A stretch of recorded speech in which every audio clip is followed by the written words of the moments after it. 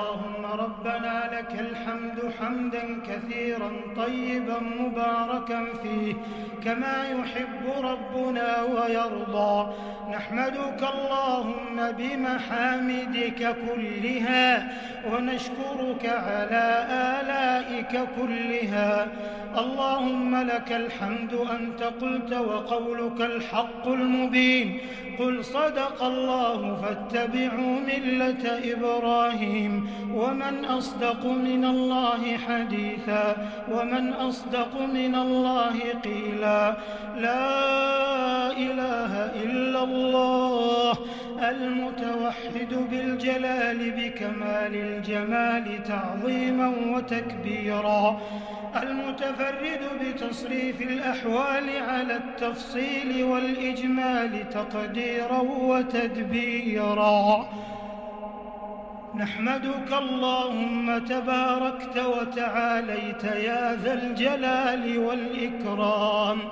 ونحن على ما قال ربنا وخالقنا ورازقنا من الشاهدين ولما أوجب وألزم غير جاحدين والحمد لله رب العالمين وصلوات الله وسلامه على خاتم النبيين وعلى آله الطيبين الطاهرين وزوجاته الطاهرات أمهات المؤمنين ورضي الله عن الصحابة أجمعين والتابعين ومن تبعهم بإحسان إلى يوم الدين. اللهم لك الحمد على نعمك العظيمة وآلائك الجسيمة. لك الحمد على ما هديتنا للإسلام وعلمتنا الحكمة والقرآن.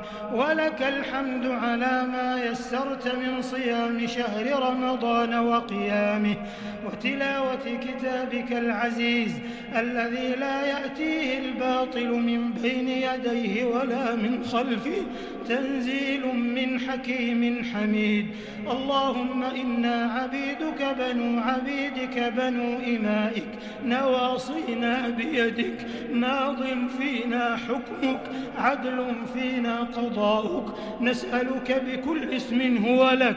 سميت به نفسك أو أنزلته في كتابك. أو علمته أحدا من خلقك.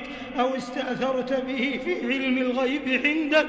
أن تجعل القرآن العظيم ربيع قلوبنا ونور صدورنا وجلاء أحزاننا وذهاب همومنا وغمومنا وسابقنا ودليلنا إليك وإلى جناتك جنات النعيم اللهم ذكرنا منه ما نسينا وعلمنا منه ما جهلنا وارزقنا تلاوته آناء الليل وأطراف النهار على الوجه الذي يرضيك عنا.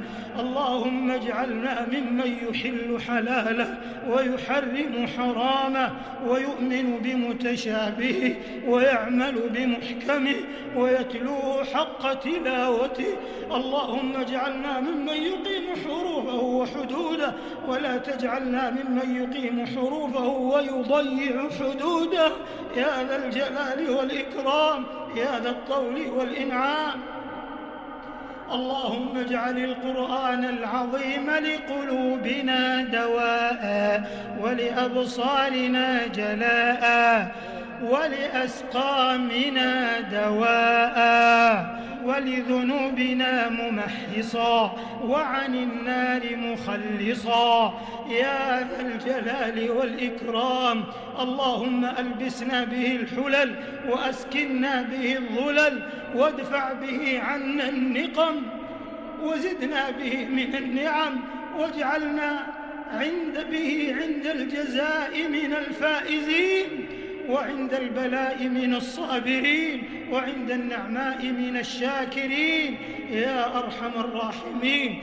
اللهم انفعنا وارفعنا بالقرآن العظيم الذي رفعت مكانه وأيدت سلطانه وبينت برهانه وقلت يا أعز من قائل سبحانه فإذا قرأناه فاتبع قرآنه ثم إن علينا بيانه محكم البيان ظاهر البرهان محروس من الزيادة والنقصان فيه وعد ووعيد وتخويف وتهديد لا يأتيه الباطل من بين يديه ولا من خلفه تنزيل من حكيم حميد. اللهم اجعلنا من أهل القرآن الذين هم أهلك وخاصتك. اللهم اجعلنا ممن يقال له اقرأ وارق ورتل كما كنت ترتل في الدنيا. يا ذا الجلال والإكرام يا ذا الطول والإنعام يا سميع الدعاء يا ذا المن والعطاء. اللهم انقلنا بالقرآن الكريم من الشقاء إلى السعادة ومن النار إلى الجنة ومن الحزن إلى الفرح. ومن أنواع الشرور كلها إلى أنواع الخير كلها. يا أرحم الراحمين يا رب العالمين يا أكرم الأكرمين. اللهم اجعلنا بتلاوة كتابك منتفعين وإلى لذيذ خطابه مستمعين ولأوامره ونواهيه خاضعين وعند ختمه من الفائزين. اللهم اجعلنا عند ختمه من الفائزين. اللهم اجعلنا عند ختمه من الفائزين ولك في جميع أمورنا راجين ولك في كل شهورنا ذاكرين يا أرحم الراحمين يا أكرم الأكرمين يا عظيم المن يا جزيل الصفح يا من ستر القبيح وأظهر الحسن يا من لا يؤاخذ بالجريره ولا يهتك الستر. ارحمنا فإنك بنا راحم ولا تعذبنا فأنت علينا قادر. ألطف بنا فيما جرت به المقادير وأنت على كل شيء قدير.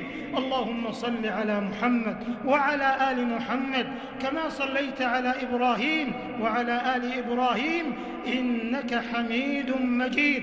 وبارك على محمد وعلى آل محمد كما باركت على إبراهيم وعلى آل إبراهيم إنك حميد مجيد. اللهم اهدنا فيمن هديت وعافنا فيمن عافيت وتولنا فيمن توليت وبارك لنا فيما أعطيت وقنا شر ما قضيت اللهم إنك عفو تحب العفو فاعف عنا.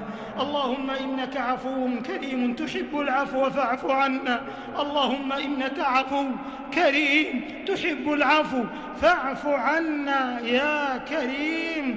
اللهم اجعلنا أغنى خلقك بك وأفقر عبادك إليك وهب لنا غنى لا يطغينا وصحة لا تلهينا وأغننا اللهم بفضلك عمن أغنيته عنا. واجعل آخر كلامنا من الدنيا شهادة أن لا إله إلا الله وأن محمدا رسول الله وتوفنا وأنت راض عنا غير غضبان. وتوفنا وأنت راض عنا غير غضبان. واجعلنا في موقف القيامة آمنين. وممن يأخذ كتابه باليمين وممن ينادى غدا في الآخرة كلوا واشربوا هنيئا بما أسلفتم في الأيام الخالية. اللهم يمن كتابنا ويسر حسابنا. اللهم يسر حسابنا وسهل تجاوزنا على الصراط يا رب العالمين وأكرمنا بجوار سيد المرسلين نبينا محمد بن عبد الله. اللهم احشرنا في زمرته اللهم احشرنا في زمرته اللهم ارزقنا التمسك بسنته اللهم أوردنا حوضه اللهم أوردنا حوضه واسقنا بيده الشريفة شربة لا نظمأ بعدها أبدا. يا ذا الجلال والإكرام يا ذا الطول والإنعام.